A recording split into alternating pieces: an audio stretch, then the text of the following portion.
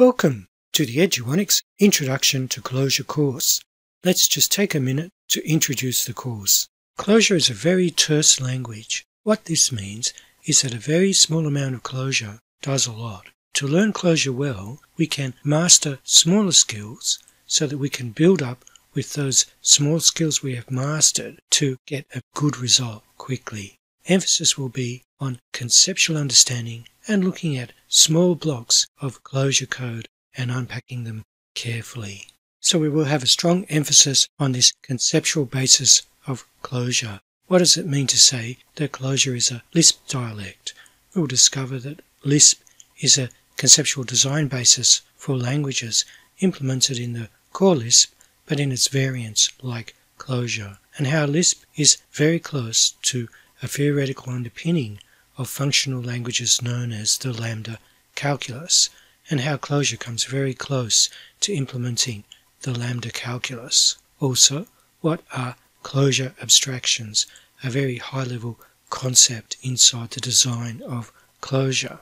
We will gain a good understanding of Clojure core syntax, focusing on the core syntax of forms, special forms, and symbols, macros, and functions.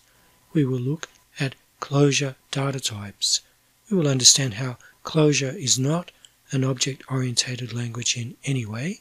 It's a fully functional language, but it still has data types. As well as its basic constructs of lists, vectors, and sequences, we will see how the function is a core data type, a function literal. Then we will look at Clojure's higher order functions like map and filter we will look closely at Clojure data structures and how they relate to the core Clojure abstractions. What does it mean to have an immutable data type and why is that important? Inside the conceptual basis of a lambda calculus, we will see how Clojure allows you to perform bindings on types, where you can have bound and unbound types.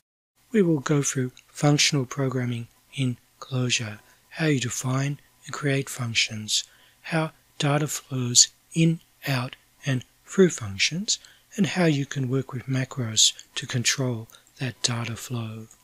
Then we will look at the important concept of functional composition, how you can create a global data flow by composing functions, and important functional programming tools such as recursion, how they are implemented in Clojure, as well as going into Clojure's core functions and macros. We will look at the important principles of concurrent programming as it applies to Clojure, why concurrent programming is needed, and how Clojure implements it via its memory model and its basic concurrent types, atoms, vars, agents, and refs. And we will look at the various contexts where would you use an atom as opposed to a ref. We will look at Clojure's key concurrent package, core async, and this idea of a Clojure process and emerging trends in concurrent programming such as lightweight threads and containerization. How you can work with this idea of a Clojure process to implement an emerging topic in computer science, communicating sequential processes.